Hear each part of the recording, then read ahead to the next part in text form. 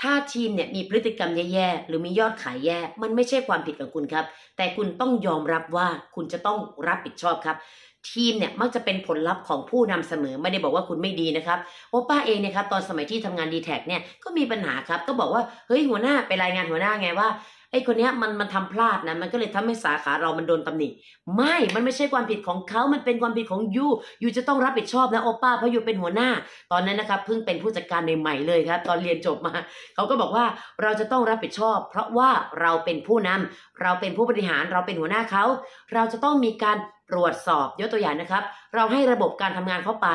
นะเรามียอดขายถูกไหมครับ แต่เราก็ต้องตรวจสอบว่าเขาอยู่ในเกณฑ์มาตรฐานของเราหรือเปล่า แต่นั่นแหละครับ เป็นสิ่งที่ทำให้ป้ากระเฮี้ยกระหือรือในการสร้าง KPI หรือว่ามาตรฐานการทำงานกับพนักงาน d t แทในตอนนั้นนะครับ คือตอนที่ป้าเรียนจบเนี่ยทำงาน d t แท Center นะครับที่แรกเลยนะครับโอป้าก็เลยวางระบบ KPI มาตรฐานการทำงาน มีการเช็คลิสต์มากขึ้นนะครับกับพนักงานเพื่อไม่ให้เขาผิดพลาด หรือว่าโดนตำหนิน้อยที่สุดครับจนเราเนี่ยได้รางวัลนะครับแกนหลอบเบอร์คลาสนะครับในยุคที่โอป้าเนี่ยทำงานที่ d t แทครับแล้วก็หลายสาขาด้วย เพราะฉะนั้นเนี่ยจากเรื่องนี้คุณได้เรียนรู้อะไรครับ เพราะฉะนั้นเนี่ยเราเนี่ยไม่ได้แปลว่าเราโทษตัวเองว่าเราแย่ หรือทีมแย่ฟังให้ดีนะครับเวลามีปัญหาเรื่องยอดขายหรืออะไรก็ตามที่เกิดขึ้นกับทีมของคุณธุรกิจของคุณ คุณจะไม่โทษลูกน้องว่าเขาห่วยแตก และคุณก็ไม่ได้โทษตัวเอง แต่คุณแค่บอกว่าโอเคฉันคือผู้นำฉันรับผิดชอบ หากลูกน้องไม่เข้าใจสิ่งนี้ ลูกน้องขายไม่รู้เรื่องอะพูดไม่รู้เรื่อง หรือลูกน้องทำไฟล์งานไม่ได้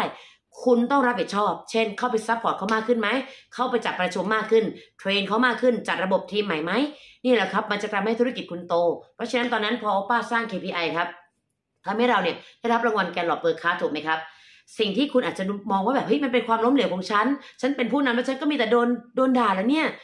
คนส่วนมากไม่อยากจะกลายเป็นผู้นำเพราะอะไรครับ คิดว่าตัวเองต้องรับผิดชอบเฮ้ยถ้าลูกน้องทำแย่ตัวเองต้องโดนด่า แต่นี่แหละครับ คุณไม่ใช่มนุษย์ดีเอเหมือนคนอื่น คุณเป็นผู้นำ คุณต้องกล้าที่จะรับผิดชอบ อย่าโทษใคร และก็ไม่ใช่โทษตัวเอง แต่รับผิดชอบ เพราะฉะนั้นความรับผิดชอบเป็นสิ่งหนึ่งที่เป็นวิสัยทัศน์ของคนที่เป็นผู้นำในองค์กรนะครับ โอป้าเองผ่านสิ่งนี้มาแล้วคิดว่าน่าจะเป็นประโยชน์กับธุรกิจของหลายท่านนะครับ เพราะโอป้าก็บริหารคนเนี่ยเป็นพันคนเลยนะครับ เพราะฉะนั้นประสบการณ์นี้น่าจะช่วยคุณได้นะครับ ใครเห็นว่าเป็นประโยชน์ครับพิมพ์ให้หน่อยครับว่าเป็นประโยชน์ครับโอป้าอีสานมาสคอต NLP สวัสดีครับ